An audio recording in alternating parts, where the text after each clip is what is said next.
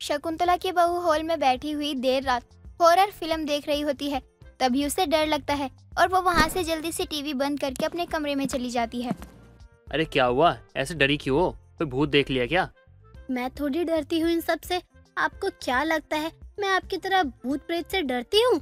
हाँ हाँ अब सो जाओ। अब मुझे भी सोने दो। वरना जैसी तुम्हारी आदत है ना मुझे तो अच्छे से पता है कि तुम्हें भूत प्रेत से कितना प्यार है। किरण को तो भूत की फ़िल्म देखकर ही डर लगा हुआ था। अब वो करती भी क्या? जल्दी से चादर तान कर सो जाती है। अब अगली सुबह जब शकुंतला उठती है और हॉल में जाती है तो वो देखती है उसकी बहू किचन में काम कर रही है। बहू चाय ले आ जरा एक कप।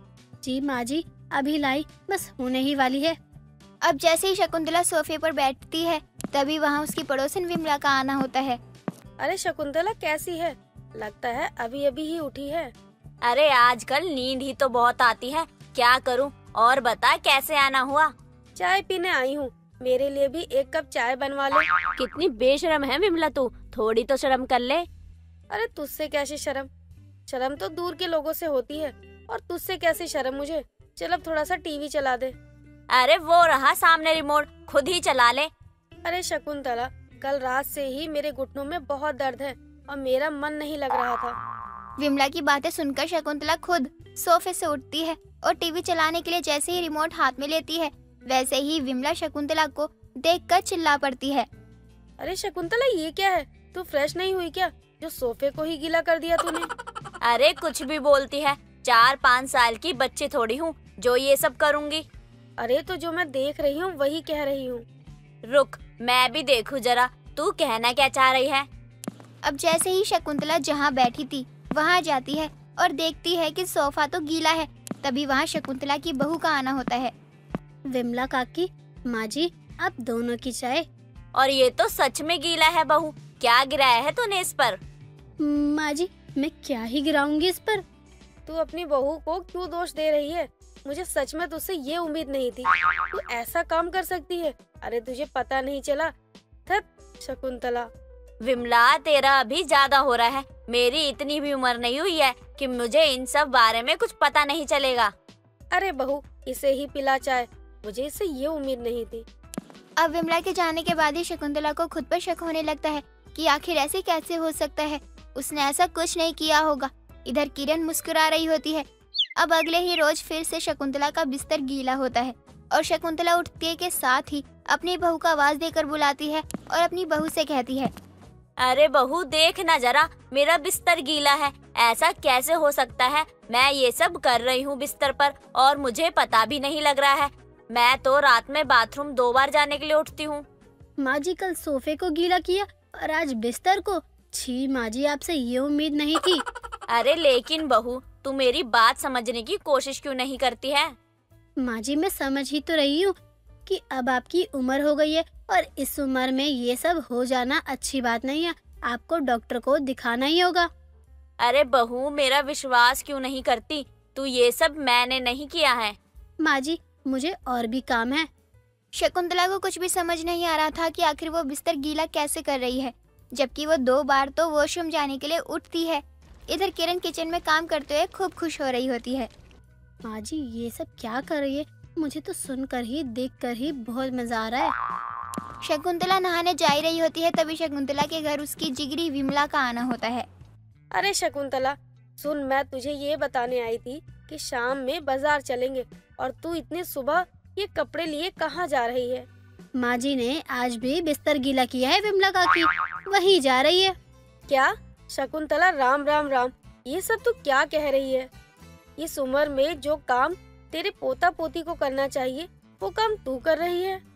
देख विमला इस बात के बारे में मैं भी जानना चाहती हूँ कि आखिर सच क्या है। मैं ऐसा कुछ भी नहीं कर रही हूँ लेकिन ना तो तू और ना ही मेरी बहू मेरी बातों पर विश्वास कर रही हो। अरे ये जो हम देख रहे हैं ये बात कोई झुटलाने वाली थोड़ी ना है। अरे मुझे नहाने जाने दो मुझे और भी काम है। ऐसे ही समय बीतता है और शकुंतला अब रोज ही बिस्तर गीला करने लगी थी और शकुंतला का रोज ही मज़ाक बनने लगा था और शकुंतला को इससे भी ज़्यादा परेशान हो चुकी थी। बस बहुत हुआ। मुझे खुद पर पूरा पूरा यकीन है कि मैं ये सब नहीं कर रही हूँ। मेरे साथ कोई गंदा मज़ाक कर रहा है और वो बहू या विमला ही हो सकती है। कोई तीसरा तो मेरे घर आता भी नहीं है। अब शकुंतला भी अपने बिस्तर गीला होने का राज पता लगाने में जुट जाती है और वो देर रात सोने का नाटक करने लगती है। तभी देर रात करीब दो बजे उसकी बहू उसके साथ सोने आती है। माँ जी की नींद का मुझे बस एक ही फ़ायदा होता है।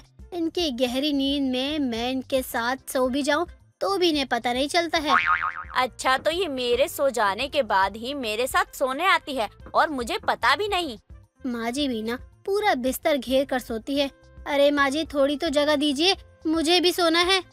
अब शकुंतला सो जाती है और जब वो उठती है तो देखती है कि आज उसका फिर से बिस्तर गीला है और अब शकुंतला का पारा हाई हो जाता है और वो अपनी बहू को बुलाती है। अरे माँ जी क्या हो गया? क्यों इतना हल्ला काट रही हो आप? क्या हो गया? रात में तू भूत की फ़िल्म देखकर मेरे पास सोने आई थी और मैंने तुझे अपनी आँखों से कमरे में आते देखा था। माँ जी नहीं नहीं मैं नहीं गई थी आपके कमरे में। आप क्या कहना चाहती हो? कि मैं गई थी आपके कमरे में और ये बिस्तर मैंने ही गीला किया है। हाँ ये बिस्तर तूने ही गीला किया है और मैंने तुझे रात में अपने साथ सोता हुआ भी देखा था। शकुंतला और किरण में खूब बहस होती है और किरण मान नहीं रही थी कि ये सब उसका किया है। लेकिन शकुंतला जब अपनी बहू से कहती है कि अगर उसने नहीं बताया तो वो अपनी बहू को घर से निकाल देगी। तब जाकर किरण सब कुछ सच बताती है। माँ जी हर दिन मैं आपके पास आया करती थी सोने के लिए क्योंकि मुझे पता है कि मैं भूत प्रेत वाली फ़िल्म देखकर डर जाती हूँ और इसी तरह मैं बिस्तर गीला कर देती हूँ और अगर मैं उनके साथ सोती तो उन्हें बस इस बात का पता चल जाता। इसीलिए मैं पहले आपके पास सो जाया करती थी। और जब मेरा बिस्तर गीला हो जाता तो तू वहाँ से उठकर चली जाती थी। हाँ माँ जी ऐसे ही है लेकिन मैं आपके पैर पड़ती हूँ। आप ये बात किसी से मत कहिएगा। अब तो तूने जिस तरह मेरी बदनामी करवाई है उसी तरह मैं भी तेरी बदनामी करवा कर रहूँगी। तू भी देख मैं तुझे दिखाती हूँ। माँ जी मैं आपके पैर पड़ती हूँ मुझे माफ़ कर दीजिए। माँ जी नहीं। शकुंतला तू अपनी बहू पर अत्याचार कर रही है। अरे तू ऐसी नहीं थी ना? नहीं नहीं ऐसा कुछ भी नहीं है। ये तो मेरे पैरों में इसलिए गिरी है क्योंकि ये बिस्तर माँ जी ये आप क्या कहने जा रही है? अरे तेरा गीला किया हुआ बिस्तर, बेचारी ये क्यों धोए? हाँ वही तो। मैं भी माँ जी को यही समझा रही हूँ कब से। शकुंतला के सामने सब कुछ सच आ जाता है। आखिर बिस्तर गीला करता कौन है? किरण को हॉरर मूवी का इतना शौक था कि वो मूवी ज़रूर देखती और रात को अपनी सास के बिस्तर पर जाकर सो जाती और अपनी सास का ही बिस्तर गीला कर कर अपनी सास का नाम लगा देती थी। लेकिन शकुंतला भी इस राज से पर्दा उठा ही लेती है। बांदरपुर गाँव में तुलसी अपने पति गंगू और बेटी खुशी के साथ रहा करती थी। तुलसी और गंगू खेती बाड़ी करके अपने घर को चलाया करती, लेकिन इस बार गंगू की फ़सल कुछ खास नहीं हुई थी, जिससे गंगू बहुत चिंता में था और वो अपना पिछला कर्जा और आने वाली दिवाली का खर्चा कैसे उठाएगा ये सोच रहा था। तुलसी, खाना लगा दो। मुझे बची हुई सब्ज़ियाँ लेकर मंडी भी जाना है। अरे भाई, मुझे तो कुछ समझ में भी नहीं आ रहा है। कि इस दिवाली में तुम्हारी और खुशी की पसंद की चीज़ें कैसे ला पाऊँगा मैं? आप चिंता मत कीजिए सब ठीक हो जाएगा। मुझे मेरे भगवान पर पूरा भरोसा है। मैं एक असहाय पिता हूँ जो अपनी बच्ची की ज़रूरत की चीज़ों को भी पूरा नहीं कर पा रहा हूँ ना ही उसे खुशी दे पा रहा हूँ। पापा पापा मुझे रिया ने मारा और कहा कि मेरे कपड़े गंदे हैं और मैं गरीब हूँ और मैं उन बच्चों के साथ नहीं खेल सकती हूँ। मैंने तो तुझे कितनी बार मना किया है। तू मत जाया कर उनके साथ खेलने। लेकिन तू है कि मेरी बात मानती ही नहीं है।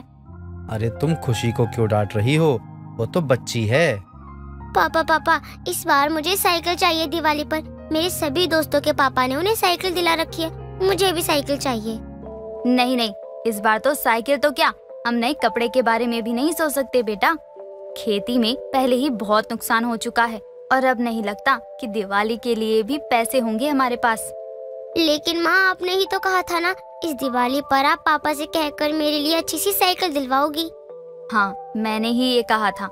लेकिन अब मैं ही ये कह रही हूँ कि इस दिवाली भी तेरी साइकिल नहीं आ पाएगी। ये सब पास बैठा गंगू सुन रहा था।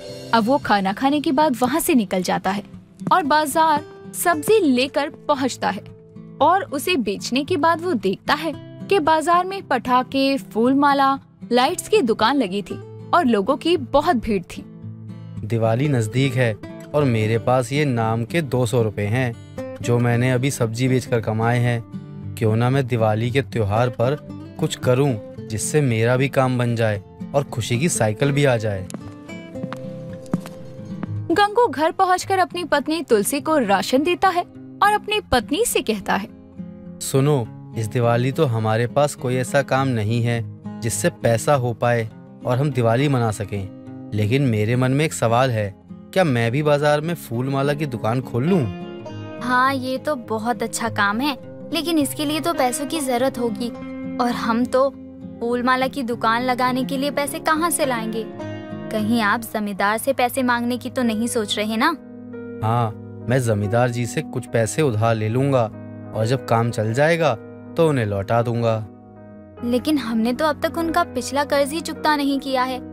पर आप उनसे एक बार पैसे मांग कर देखिए। कहीं वो दे दें। अब गंगू अपनी पत्नी से बातचीत कर जमींदार जी के घर की तरफ़ निकल पड़ता है। शाम का समय था और गंगू अपने मन में कई सारे सवाल लिए जमींदार के घर पहुँचता है। ना जाने ये किस्मत को क्या मंजूर है। आने वाली है दिवाली तब भी पड़ी हुई है मेरी जेब खाली। वाह! क्या बात है गंगू? ये तो कविता बन गई। लेकिन गंगू, इस कविता से तेरा घर नहीं चलेगा। सोच, तुझे क्या करना है?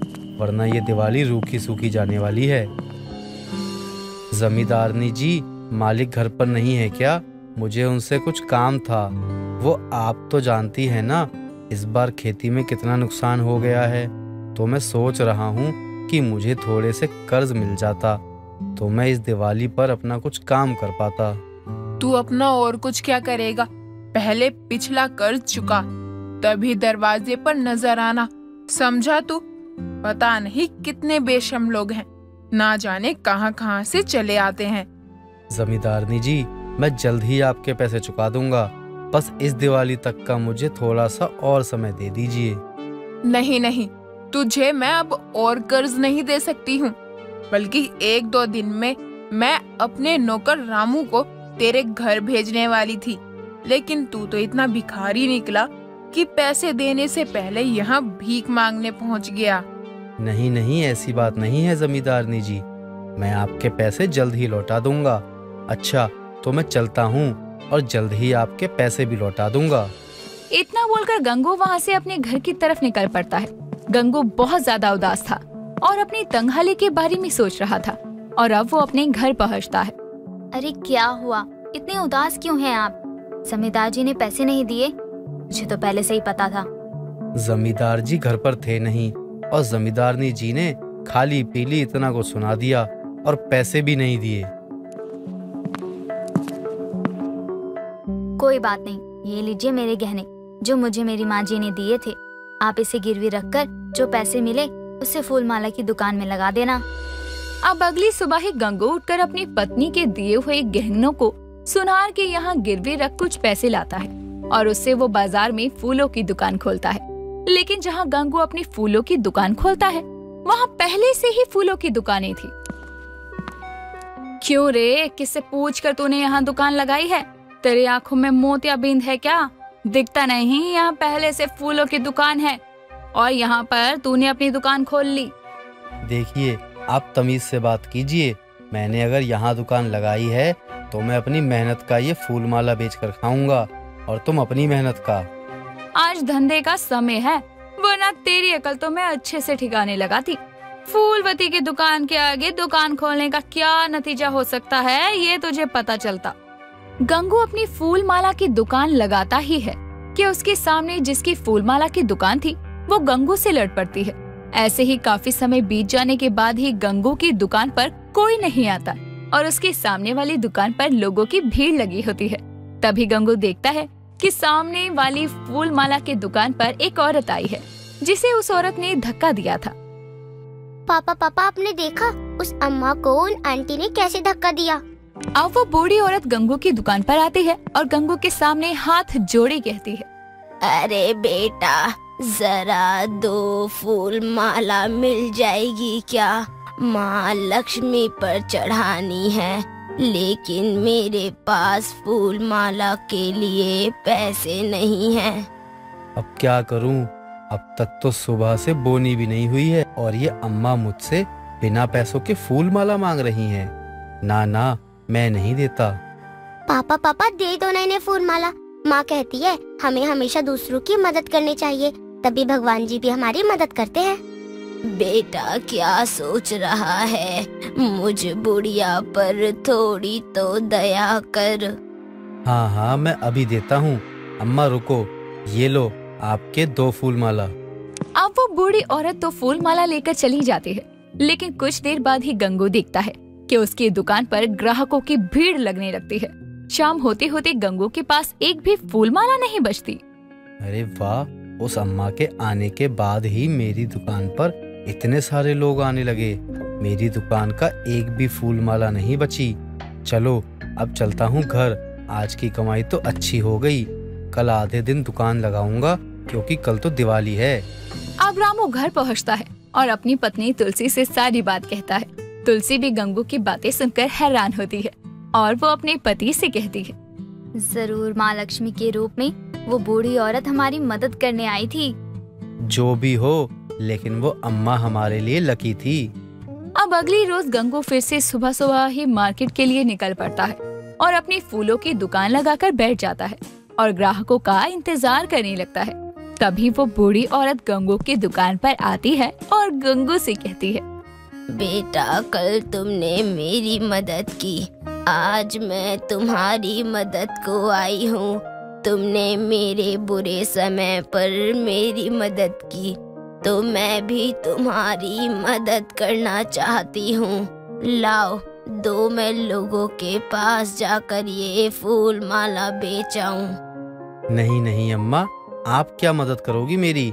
मैं खुद बेच लूँगा ये फूल माला गंगू के सर पर जैसे ही बूढ़ी औरत हाथ रखती है गंगू माँ के आशीर्वाद का एहसास करता है। और जब वो अपना सर उठाकर उस बूढ़ी औरत की तरफ़ देखता है तो उसे माँ लक्ष्मी के दर्शन होते हैं। हाँ हाँ अभी देता हूँ माला। भाई रुको तो जरा। अम्मा रुको अम्मा। अब वो बूढ़ी औरत तो वहाँ से चली जाती है लेकिन दिवाली वाले दिन भी गंगू की फूल माला से अच्छी कमाई होती है जिसे वो अपने घर के लिए तो सामान लेता ही है लेकिन अपनी बेटी खुशी के लिए एक अच्छी सी और नई सी साइकिल भी खरीदता है। मालती हर रोज की तरह सुबह उठकर घर का काम कर रही होती है। तभी मालती अपनी बेटी राखी को खराटे मारता हुआ देख उसको आवाज़ लगाती है। अरे उठ भी जा राखी उठ जा। जहाँ जाएगी अगर तू ऐसे ही सोती रही तो तेरी सास तुझे तो क्या? मुझे भी खूब गालियाँ देने वाली है। अरे माँ क्यों चिल्ला रही हो सुबह सुबह? लगता है आपको फिर से मेरी सास की याद आई। देती रहो उन्हें गाली मुझे क्या? उठ भी जा खेत में सुबह से तेरे बाबूजी काम करने में लगे हैं और तू है कि यहाँ घोड़े बेच के सो रही है। मालती के बिना उठाए तो राखी आखिर कहाँ उठने वाली थी? इसी वजह से मालती उसे यही समझाया करती थी कि ससुराल में उसका क्या हाल होगा। मैं जा रही हूँ तेरे बाबूजी को खाना देने। बाकी बचा बर्तन धो ले समझी? हाँ बस। अब और क्या ही रह गया है ज़िंदगी में। ये बर्तन धोना कभी खाना बनाना और बचे दिन में अपनी सास के ताने सुनना। माँ अगर मेरी सास मुझे ऐसे ही ताने देगी ना तो कितना मज़ा आएगा। हाँ हाँ क्यों नहीं? जैसे तू है वैसे परपंच करने वाली सास भी मिले तुझे। मैं तो यही कहूँगी तब जाकर तेरा दिमाग ठिकाने आएगा। अरे माँ जो भी कहो लेकिन आपके तानों से मैं पक चुकी हूँ। अब तो बस सास के ताने सुनने हैं। वो भी सुबह सुबह वाले। बहू अरे ओ बहू चाय बनी की नहीं? या चाय की पतीली में खुद ही बैठ गई है तू? सच में इस लड़की का दिमाग खराब हो गया है। इसके बाप को तो आज ही कहती हूँ कि इसके लिए रिश्ता देखे। अरे हाँ हाँ माँ। और माँ पापा से भी ये कहना कि सास मुझे खतरनाक से खतरनाक चलेगी। उसके लिए कोई टेंशन नहीं है। रिश्ता देख रहे हैं तेरे लिए। कोई पड़ोसी देश को उड़ाने के लिए मिसाइल नहीं, समझी? और वो तो अपने माँ बाप पर छोड़ दे। तेरे लिए हम लड़का कैसा ढूंढेंगे? लड़का तो कैसा भी चलेगा माँ, लेकिन मुझे सास चाहिए, सास, वो भी साजिशे वाली। सच में, ये कितनी बेशरम हो गई है। आज ही इसके बापू से कहती हूँ कि कुछ भी करो, किसी से भी पैसे लाओ, लेकिन इसकी शादी करवा ही दो। राखी को सास बहू और साजिश बहुत पसंद था। मतलब राखी को ऐसी सास चाहिए थी जो उसके लिए साजिश करे। जिस वजह से राखी की माँ मालती भी बहुत परेशान थी और वो काफ़ी समय से राखी के लिए रिश्ता भी देख रही थी। लेकिन ऐसे ही एक रिश्ते में बात बन जाती है और कुछ समय बाद ही राखी की शादी कर दी जाती है। ससुराल तो बड़ा ही अच्छा है और मेरी सास भी मुझे साजिशों वाली ही लग रही है। चलो, अब शुरू होगा सास, बहू और साजिश का दौर।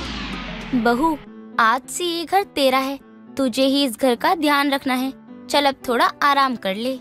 आह, अभी तो मेरी सास के मुँह से एकदम शहद टपक रहा है। कितना मीठा बोल रही है। बाद में यही शहद जहर बनकर निकलेगा इनके मुँह से। राखी तो ऐसी सास चाहती थी, जो उसके लिए साजिशें करे। लेकिन उमा ने तो पहले ही दिन राखी पर ढेर सारा प्यार लुटा दिया। अब अगली सुबह राखी का सुबह के दस बजे उठना होता है। अरे माँ जी घर का सारा काम हो चुका है क्या? और आपने मुझे सुबह उठाया भी नहीं? अरे मैंने मोहन से पूछा था कि बहू सो रही है या जगी है तो उसने कहा वो तो बहुत गहरी नींद में है। और मैंने भी छोड़ दिया। अरे तो आपको तो उठाना चाहिए ना माँ जी मुझे? आप तो सास हो मुझे कहती अरे बहू कब तक सोएगी? उठ भी जा सुबह हो गई। और और बर्तन कौन तेरा दादा पर दादा धोने आएगा क्या? बहू ये तू क्या बोल रही है? मैं ऐसा भला क्यों कहूँगी तुझसे? तू भी तो किसी के घर की बेटी है ना? चल अब ये सब छोड़ और खाना बना हुआ है निकाल कर खा ले। ये मैं क्या सुन रही हूँ? मेरे कानों से कहीं खून ना निकल आए। हे प्रभु सास मांगी थी सास। ये माँ से ज़्यादा सीधी सादी सास थमा दी। तो ऐसा लग रहा है जैसे मेरे जीने का कोई मतलब ही नहीं रह गया हो। अब राखी को समझ नहीं आ रहा था कि उसकी सास सच में ऐसी है। या फिर कोई ढोंग कर रही है। देर शाम उनकी पड़ोसन रज्जो वहाँ आती है। अरे बहू क्या बात है? तेरी सास कहीं नज़र नहीं आ रही है। यही हूँ इधर देख इधर। तू मेरी बहू को क्यों बोल रही है? अरे नहीं उमा मैंने तुझे देखा ही नहीं। और ये तू क्या बर्तन धो रही है? बहू को बोल वो करेगी घर के काम। क्यों? तू भी तो अपनी बेटी से काम नहीं करवाती जो तू मुझे बता रही है कि मैं अपनी बहू से काम करवाऊं। अरे बहू और बेटी में फ़र्क होता है उमा। बहू कभी बेटी नहीं बन सकती है समझी ना तू? इसलिए तुझसे कह रही हूँ कि अपनी बहू को बोल कि काम करे घर का। चल छोड़ एक कप बहू के हाथ के चाय पिला दे। बहू कभी बेटी नहीं बन सकती क्योंकि सास भी तो कभी माँ नहीं बन सकती ना। बहू अगर तू तो कुछ नहीं कर रही है तो दो कप चाय बना ला। राखी अब चाय बनाने जाती है और चाय बनाते हुए वो अपनी सास के बारे में ही सोच रही होती है। कि सच में उसकी सास ऐसी है?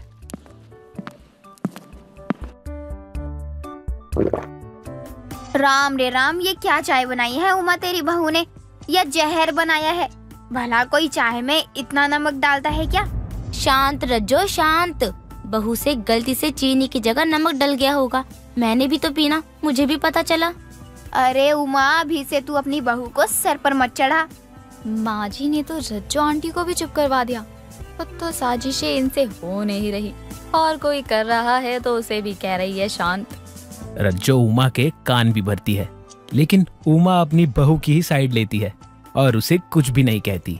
राखी को ये सब अजीब लग रहा था कि आज तक तो उसने सास के बारे में ऐसा कभी नहीं सुना कि सास भी कभी इतना प्यार कर सकती है क्या? जी सुनिए आज तक तो मैंने सासों के बारे में सुना था कि वो अपनी बहू को गर्मा गर्म तेल में हाथ डुबो देती हैं, बाल पकड़कर मारती हैं, सुबह सोने नहीं देती खाना खाने पर गालियाँ देती हैं। लेकिन माँ जी में तो सास वाले कोई गुण ही नहीं है। माँ ऐसी है तुम ही ना माँ को गलत समझ रही हो। माँ ने आज तक किसी से ऊँची आवाज़ में बात तक नहीं की। राखी को लग रहा था कि कुछ समय बीत जाने के बाद तो उसकी सास का असली चेहरा सामने आ ही जाएगा। लेकिन कई महीने बीत जाने के बाद भी उमा अपनी बहू पर बिल्कुल बेटी जैसा प्यार लुटा रही थी। अब भी राखी को अपनी सास के प्यार पर भरोसा नहीं था। एक रोज राखी खाना बना रही थी कि तभी राखी की साड़ी के पल्लू में आग लग जाती है। बहू आग बहू जहाँ खड़ी है वही रुक। कहा है आग? जब तक राखी का ध्यान उस आग पर जाता कि इतने में उमा आकर उस साड़ी के पल्लू से आग को अपने हाथों से बुझा देती है। जिस वजह से उमा का हाथ जल जाता है। बहू तो ठीक तो है ना? कितनी बार कहा है खाना बनाया कर तो घूंघट मत किया कर। ये तेरा अपना ही घर है लेकिन नहीं तुझे तो कुछ सुनना ही नहीं है। माँ आप ठीक तो हो ना? माँ ये क्या किया आपने? ऐसे कोई आग बुझाता है? अरे आपने अपना हाथ जला लिया। क्या करती? अगर कुछ और सोचने लगती तब तक तो ये आग से घिर जाती ना? माँ जी ने मुझे बचाने के लिए अपना हाथ जला लिया।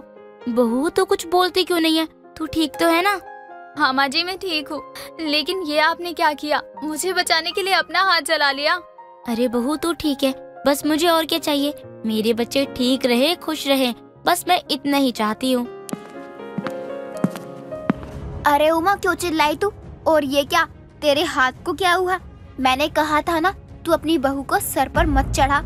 अरे मुझे कुछ नहीं हुआ है। वो तो बहू की साड़ी में आग लग गई थी तो उसे बुझाने के चक्कर में मेरा हाथ जल गया। तुझे तो समझाना ही बेकार है। तू तो बहू में ही बेटी ढूंढ रही है। रज्जो काकी आप मेरी माँ जी के बारे में कुछ भी मत कहिए। माँ जी मैं जब से इस घर में आई तब से आपने मुझे एक बेटी की तरह रखा प्यार दिया इज़्ज़त दी। लेकिन मैं तो बस यही सोचती रही कहीं ये सब आप ढोंग तो नहीं कर रही। मैंने कहा था माँ कभी किसी से ऊँची आवाज़ में बात तक नहीं करती। वो क्या तुम्हारे साथ कोई साजिश करेगी? अरे बहू मेरी बेटी नहीं है। लेकिन जब से तू इस घर में आई है, मेरे घर में रौनक आ गई है, रौनक। जब राखी के साथ ये हादसा होता है, तब जाकर उसे समझ आता है कि उसकी सास तो असल में उसकी माँ से भी बढ़कर है। वो ढोंग नहीं कर रही थी। अब अगली सुबह ही देर से उठने वाली राखी अपनी सास से पहले उठकर घर का सारा काम कर चुकी होती है। और ये बदलाव भी उमा की वजह से ही आया था। दोस्तों, अगर आपको ये कहानी पसंद आई तो इसे लाइक करें शेयर करें और कमेंट करके बताएँ कि कहानी में आपको सबसे अच्छा क्या लगा।